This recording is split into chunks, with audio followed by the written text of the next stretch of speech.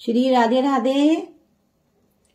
आज मैं आप सबके लिए बहुत ही शान, बिल्कुल शानदार रेसिपी लेकर आई हूँ। बहुत यकीन मानिए, घर के सामानों से आप बना सकते हैं। ये दोस्तों पिज्जा नहीं है।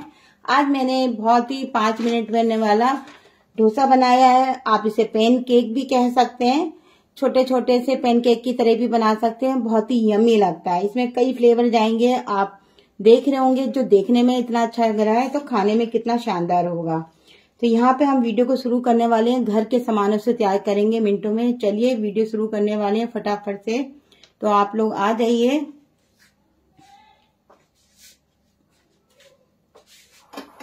और मैं याद दिला देती हूँ दोस्तों, अगर आपको हमारी वीडियो पसंद आती है तो लाइक शेयर कमेंट कीजिएगा। पेज पे नए हैं तो फॉलो करना ना भूलिएगा। तो यहाँ पे अब हम वीडियो को स्टार्ट करने वाले हैं तो आप सबसे रिक्वेस्ट है जल्दी जल्दी से आ जाया करिए, जिससे कि हम वीडियो हमारा लंबा ना हो। तो यहाँ हम चलिए। तो यहाँ आप देख रहे होंगे, हमारा एक बैटर तैयार पड़ा हुआ है। इसमें हमें थोड़ा बैटर है तो इसमें मैं आधा पाउच इनो डाल रही हूँ। थोड़ा सा मतलब आधा टीस्पून डालूँगी, ज़्यादा नहीं डालूँगी। तो देख के ही डालिएगा। जितना आपके पास हो, उससे ज़्यादा जितना बैटर हो, उस हिसाब से ही डालना है। तो यहाँ मेरे पास आप देख रहे होंगे, थोड़ा सा ही बैटर है तो यहाँ थोड़ा सा डालूँगी। अगर आपके पास ज़्यादा है तो ज़्यादा भी डाल सकते हैं। तो यहाँ इसे हमें डालने के बाद दो पीछ यहाँ पानी डालूँगी, और इसको पानी को डाल के हल्का सा इसे हमें तैयार कर लेना बस ज़्यादा नहीं करना है। तो यहाँ पे मैंने सिर्फ़ हल्का सा डाल रही हूँ, और इसे हम मिक्स कर लेंगे। तो यहाँ पे मैंने इसको मिक्स कर लेती हूँ। तो जब भी आप बनाएँ, तभी आपको इसको मिक्स करना है। इससे पहले बिल्कुल नहीं करिएगा, नहीं तो ये खराब हो जाएगा। तो यहाँ पे मैं, यहाँ आप देख रहे होंगे मैं इसको बनाने के लिए रख देती हूँ। फिर मैं आपको बताऊँगी मैंने कैसे बनाया, किस चीज़ से बनाया। तो चलिए, जब तक ये रेसिपी बनती रहेगी और हम शुरू करते हैं। तो यहाँ हमने एक तवा ले लिया है तवे को मैं साफ़ कर लेती हूँ। हमने आपके लिए बना के रखते हैं हमेशा। तो यहाँ आप देख रहे होंगे, चीज़ हमारी फैल चुकी थी थोड़ी सी तो यहाँ मैं साफ़ कर लिया है। अब थोड़ा सा यहाँ हम तेल लगाएँगे। जो भी आप खाते हैं वो लगा सकते हैं अच्छे से। तो यहाँ मैं इसको फैला लेती हूँ किसी चीज़ से अच्छे से, मेरा ब्रश नहीं दिखाई दे रहा है। ब्रश तो यहाँ चलिए मैं चम्मच से कर लेती हूँ। ब्रश तो हमारा दिखाई नहीं दे रहा है। ठीक है, कोई बात नहीं। तो यहाँ हमने इस तरह से लगा लिया है। तो यहाँ बस तवा बहुत ज़्यादा गर्म नहीं होना चाहिए। मैं यहाँ पे मैं तवा हमारा पहले हल्का गर्म था। मैं तवे को हल्का सा जला देती हूँ। और ये बनाने में बहुत ही कम टाइम लगता है। तो मैं आपको दिखा देती हूँ कि हमने कैसे करा है। तवे को आपको मीडियम से लो पे रखना है, क्योंकि धीमी धीमी आँच पे बनाएँगे, उतना ज़्यादा टेस्टी बनता है। और अगर आप इसे तेज आँच पे करेंगे तो ये खराब भी हो जाएगा, अंदर से कच्चा रह जाएगा और सीख नहीं पाएगा। तो यहाँ पे हमने बैटर डाल रही हूँ तो यहाँ पे बहुत ज़्यादा मोटा नहीं बनाना है, पतला नहीं करना है, इसे हल्का मोटा ही बनाया जाता है, जैसे कि आप देख रहे हैं इस तरह से। मैंने डाल दिया है, और इसको हम हल्का सा फैला लेंगे।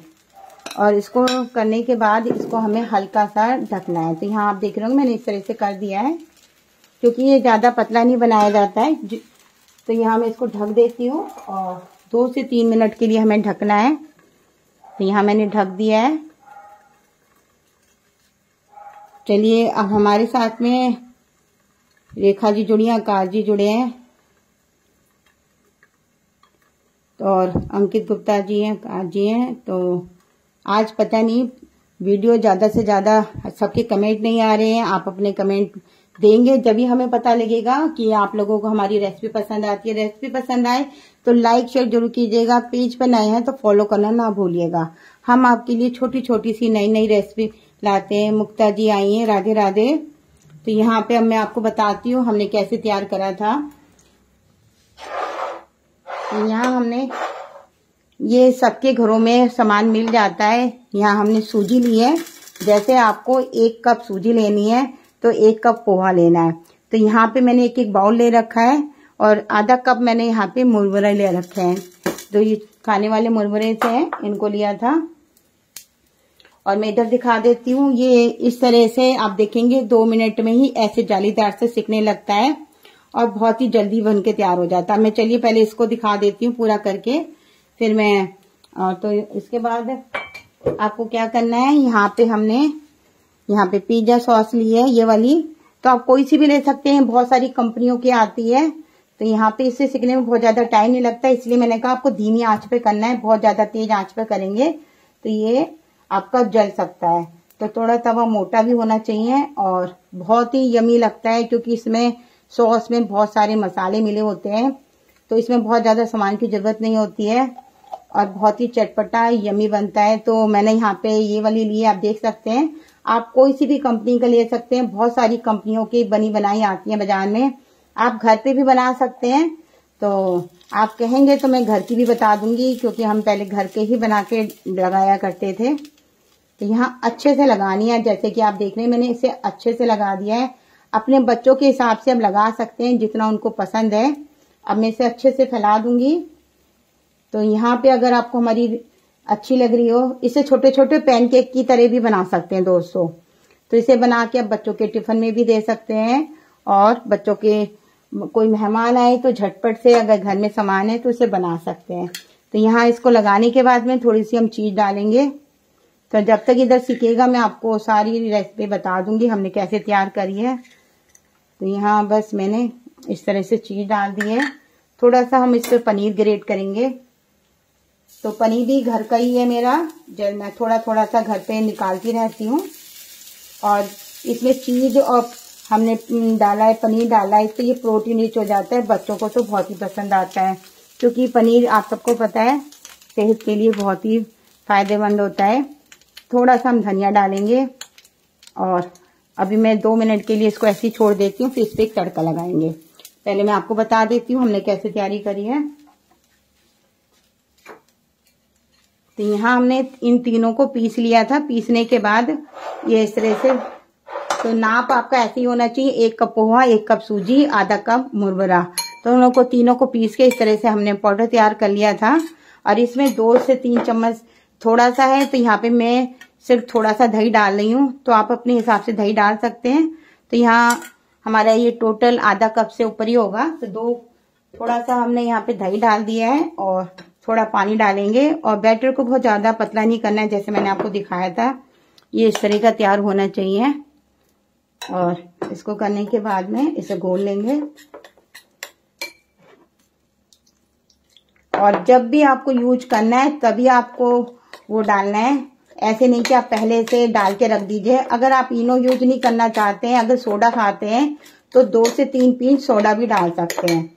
और आधा कप पानी डाल के इसका अच्छे से घोल तैयार कर लेंगे। क्योंकि आप देख लोगे किस तरह से गाढ़ा हो जाता है और इसको इस तरह से तैयार कर लेंगे। तो यहाँ पे अभी टाइम लगेगा और इसे 10 मिनट के लिए ज़रूर रखना है आपको रेस्ट के लिए।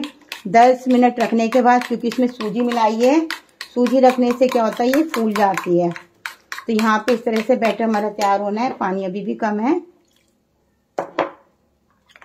और जब हम इनो डालेंगे तो थोड़ा सा पानी और डाल देंगे। इसको मैं 10 मिनट के लिए इस तरह से तैयार करना है। रख देती हूँ। चलिए मैं आपको आगे दिखाती हूँ। एक तड़का बनाएँगे तो तड़की की तैयारी कर लेते हैं। यहाँ हमने पैन में घी रखा हुआ है। गैस को जला लेती हूँ। अब मैं आपको इधर ले जा रही हूँ, जहाँ हमें तड़का बनाना है। तो यहाँ गैस को मैंने जला लिया है। और यहाँ पे हम ऑयल रखेंगे थोड़ा सा तड़के के लिए तो वीडियो को थोड़ा सा मुझे जूम करना पड़ेगा। आपको क्लियर नज़र आ रहा है, नहीं आ रहा है? तो यहाँ पे अंजना जी भी जुड़ी है। अभी मैं सबके नाम पढ़ूँगी, क्योंकि थोड़ा सा मैं सोच रही हूँ, पहले काम कर लेती हूँ, फिर सबके नाम पढ़ूँगी। तो इसमें हमें तड़का लगाना है एक। जब तेल गर्म हो जाएगा तो आप देख लेंगे हमने यहाँ पे थोड़ा सा यहाँ, मैंने राई के दाने लिए हैं। और साथ में आपको अगर ज़्यादा पसंद है तो आप इसमें और सामान भी डाल सकते हैं। मिर्च मिर्च मैं यहाँ पे कुछ नहीं डाल रही हूँ, बस यहाँ पे मैं राई और थोड़ा सा करी पत्ते का लगा रही हूँ। आप खाली राई का भी डाल सकते हैं और थोड़ी सी मिर्ची भी डाल सकते हैं। आपकी पसंद है? और बस थोड़ा सा इस तरह से कर लेंगे, क्योंकि अभी हमारा घी गर्म नहीं हुआ है, क्योंकि आपने देखा अभी रखा है। और यहाँ बस इसको तड़के को लगा के हमें थोड़ा थोड़ा सा इस पर डालना है। और यहाँ पे मैं दिखा देती हूँ, जब तक ये तड़का तैयार हो गया है, बस देख सकते हैं। तो यहाँ हमारा इस तरह से राई अच्छे से चटक जानी चाहिए। ना तो काली होनी चाहिए, ना बहुत ज़्यादा, और ना कच्ची रहनी चाहिए। अच्छे से तड़का लगाना है आपको। बस हमने तड़का लगा लिया है। अब यहाँ पे हम आ जाते हैं। और थोड़ा थोड़ा करके डालेंगे, एक साथ नहीं डालिएगा, ऐसे नहीं।